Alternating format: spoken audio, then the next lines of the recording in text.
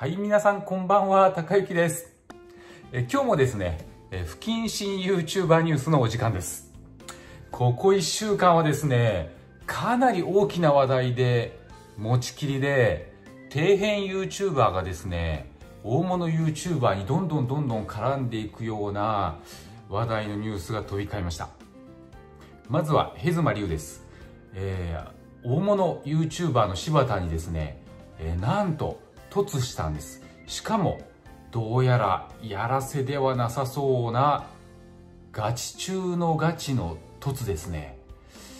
ヘズマリュウはですね柴田が四国のですね香川県高松市に住んでいるという情報を聞きつけて現地へ行って寝ないで朝柴田が到着、えー、現れるのを待ってですね突したようなんです。でその時ですねタイミングが悪く奥さん子供を連れてたんです。でそんなところに突したもんだから柴田はヘズマ龍に殴りかかってきました。でヘズマ龍はあの、まあ、体格もよく柴田並みの体格をしてるんでどうやら柴田を抑え込んでホールドしてですね、えー、なんとかね、えー、話し合いに持ち込んだようなんですけどもその時にちょっと悪かったのがですねヘズマ龍が、えーまあ、仲間を連れててどうやらまあマネージャーという肩書きになってるらしいんですけども翔平という底辺 YouTuber を連れてて、えー、彼がね、えー、奥さん子供を付きまとうような映像を撮って、えー、まあ、はっきりとは顔は出てないんですけども後ろ姿とかね雰囲気とか、まあ、顔の横の感じとかちらっとね映してしまったりとかしてて本当に迷惑極まりない犯罪行為にもなるんではないかというような映像を撮ってておりましたでそんなこともあってですねヘズマ流メインチャンネルもねバーになりましたおめでとうございますまあ、先日ね、サブチャンネルがバーになって、その前も、その前もメインチャンネルがバーになって、3回目のバンです。大丈夫ですかね？まあ、これだけ不謹慎のことやってればね、もう YouTube 側にチェックされても、しょうがないですよね。でまあヘズマ龍がねその住所特定しましたなんてねその柴田が住んでいるマンションを映したりしてましたね。でヘズマ龍はねその前にねせっかく朝倉未来とコラボして、えー、第1戦第2戦して第1戦は朝倉未来とプロレスをして第2戦は打撃ありのね、えー、ボクシングキックボクシングをしてるんですよ。でせっかくヘズマリュウが好印象でこれから YouTube やっていけるんじゃないかなって思ってたすぐ後の事件なんですよね。どうやらねその時朝倉未来にねヘズマリュウはこうね、えー、格闘技やってみないかなんていう誘いもあったみたいだったんでせっかくいい方向に向かうんではないのかななんて思ってたところでヘズマリもね多分自分のやりたいことはやめられませんやりますっていうようなあ強い意志を持った男だったんでそのようなコメントをしたんではないかなと思うんですけどもそれでまあ、えー、柴田のね凸、まあ、やり残したことがあったんでしょうね。それがへ、えー、柴田への凸だったんではないかと私は思うんですけども、えー、凸して残念ながらバン。まあ、今回のはねその肖像権についてもそうだし、えー、個人情報についてもね明らかにしすぎてしまってるし明らかな犯罪行為ですよね。本当にねこういう迷惑 YouTuber はバンされて当然だと思います、えー、その他ね今日はまだまだニュースが盛りだくさんです、えー、不謹慎 YouTuber というかえー、まあ、炎上系 YouTuber と言った方がいいんですかね、えー、ナイス達也っていうのがいるんですけども、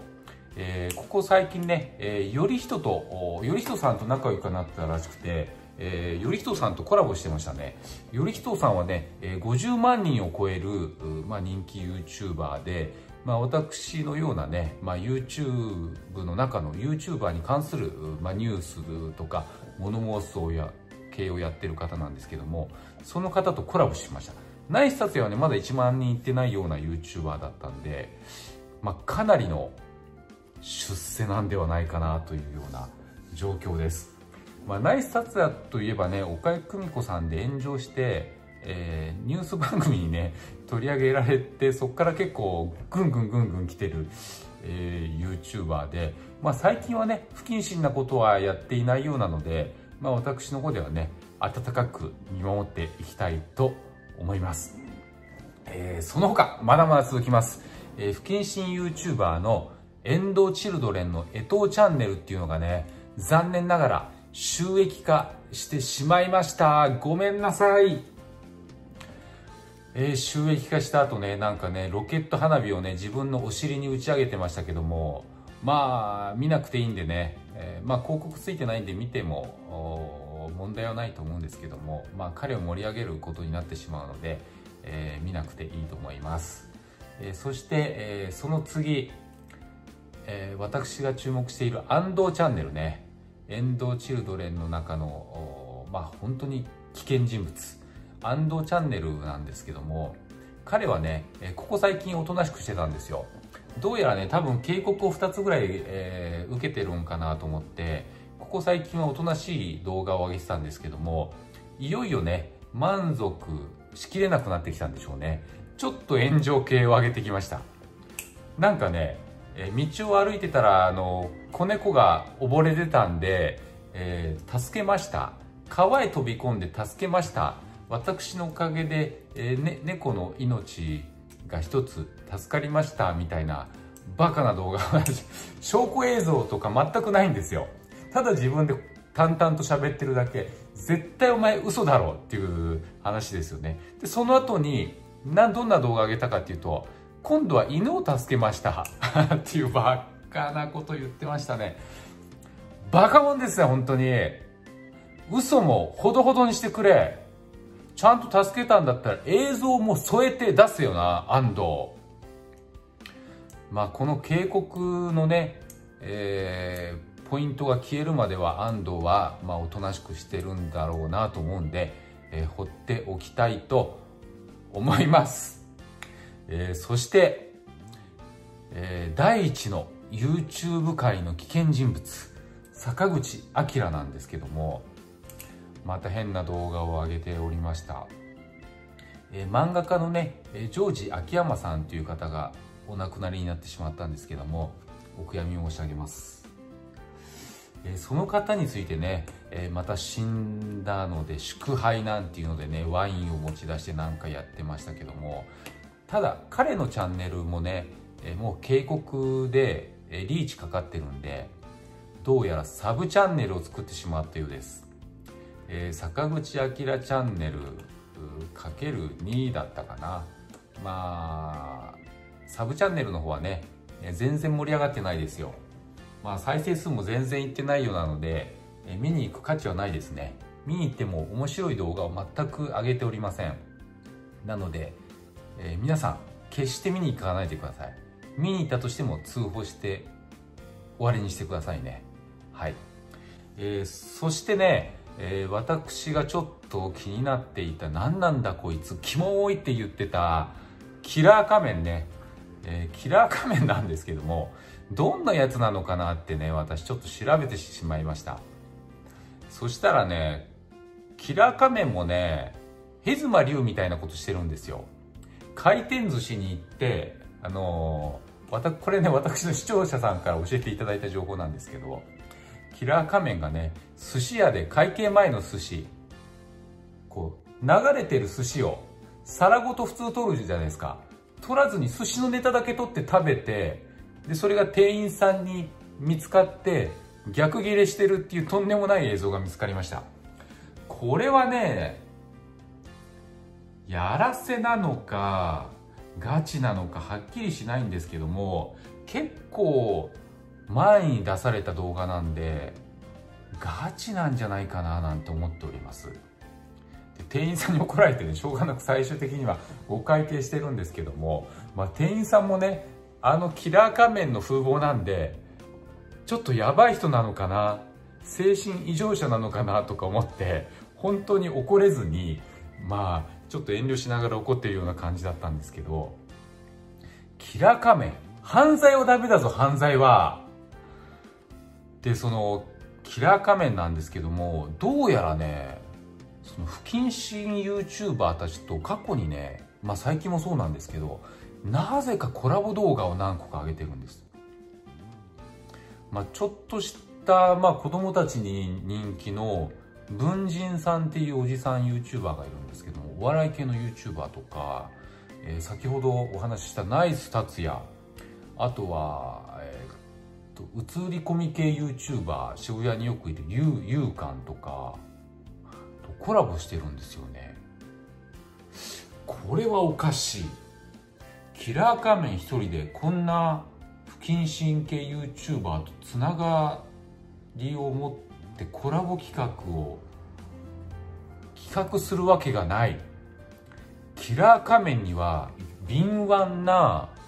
プロデューサーがついているんではないかなと。私は思います。まあ普段ねこうカメラを撮ってる人がねえー、やり手のマネージャー役をやっているんではないかなと思います。面白いのはね そのキラー仮面のコメント欄見ると絶対キラー仮面は銃口を向けられていやいややっているんですよねっていうコメントがあるのがちょっと面白いんですけど。まあかといってねキラー仮面は、えー、危険な YouTuber なんで応援しすぎないようにしてくださいはい、えー、では最後のニュースです。えー、私もね、ちょっと気にしている YouTuber で、えー、この方は不謹慎 YouTuber に含まれませんよ。含まれません。高須幹也院長がね、YouTube やってるんですよね。はい。あの、高須クリニックのね、えー、幹也さんね、が YouTube チャンネルやってるんですけども、えー、彼がね、なぜかね、この、なんていうんですかね、我々に近い領域にね、急に入ってきたんですよね。なぜか。我々に近い領域っていうのは、この不謹慎 YouTuber をニュースにしたりとか、不謹慎 YouTuber にを、まあ、監視してて、カツを入れたりとか、まあ、あとはその不謹慎な YouTuber たちの、そのエリアにね、なぜかちょっと入ってきちゃったっていうニュースなんですけど、高須幹也さんがね、YouTuber ランキングっていうのをね、先日やりまして、なぜかね、まあご年齢何歳かは私知らないんですけど、まあ私よりは、まあある程度上だと思うんですけど、YouTuber ランキングにね、ヒカルとかラファエルとかフェルミ研究所とか入ってるんですよ。私がいつもチェックしてる YouTuber たちと全く同じランキングがずらーっと並んで、おいおい、ミキヤさんって思いましたね。どうなっちゃってんの？しかもね、えー、高須ミキヤ委員長はね、遠藤チャンネルを時々おすすめで流れてくると、み、あ見て、ふふって笑ったりするらしいんですよね。で、先日ね、えー、まあ、今回の高須幹也さんの新しめの動画なんですけど、えー、ビビっていうね、雑誌の取材を受けて、えー、気持ちええっていうその遠藤、遠藤チャンネルがよくやる気持ちええをね、なんか題名にしちゃってておかしいなと思って見てみたら、不謹慎 YouTuber がよくやる誰々から電話がかかってきたっていう嘘の電話の振り。それがあの遠藤からかかってきて、えー、今度のコラボななんかコラボのお誘いみたいなあの話のふりをして銀の盾もらってよかったじゃん。俺のところには銀の盾届いてないんだよね。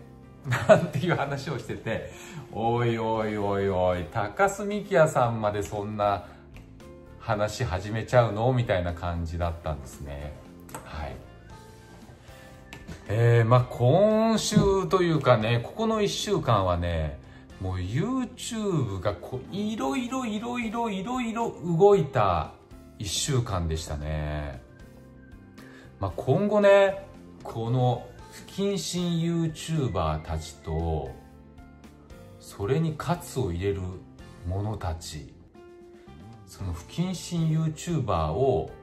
報道とする者たちの中でいろんな動きがありそうですね。今後目を離せません。皆さんも気をつけてください。目を離さないでください。見に行かなくてはいいですけどね。それではまたどこかでお会いしましょう。じゃあね。